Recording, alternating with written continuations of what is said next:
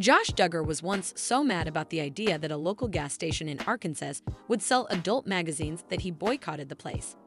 He even created a special boycott club at the urging of his dad, Jim Bob Duggar, and moved to picket the convenience store for selling porn.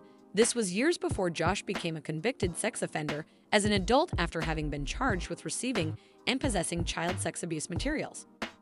Josh, who is 36 now, was only 12 years old at the time. But now, the two decade old story is being revisited after a deeper look at his sister Jill Duggar Dillard's late 2023 memoir, Counting the Cost. According to Jill, one day around 2000, Jim Bob told his children that their local gas station was selling adult magazines. While the entire family was dismayed, her older brothers, Josh and John Duggar, specifically wanted to take action. We were all shocked and upset. My older brothers, Josh and John, were determined to do something about it.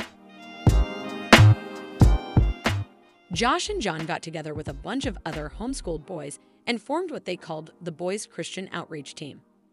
For short, they started calling it the Boycott Club.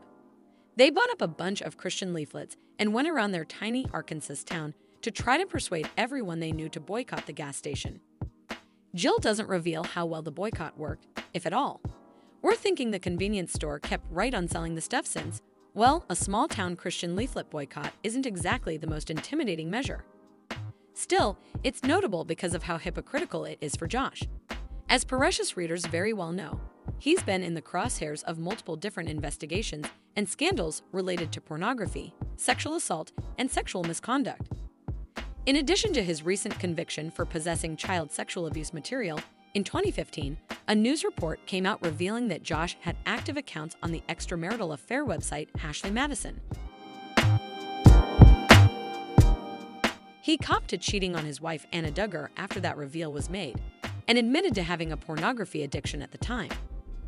In a statement released to the media amid the Ashley Madison fallout, he said that I have been the biggest hypocrite ever.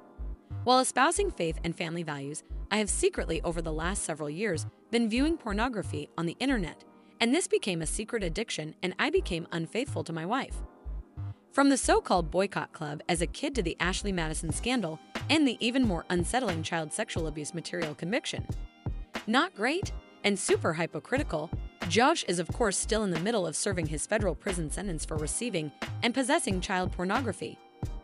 He remains incarcerated at a prison in Texas and is expected to be released in October of 2032. Reactions to this new revelation, y'all.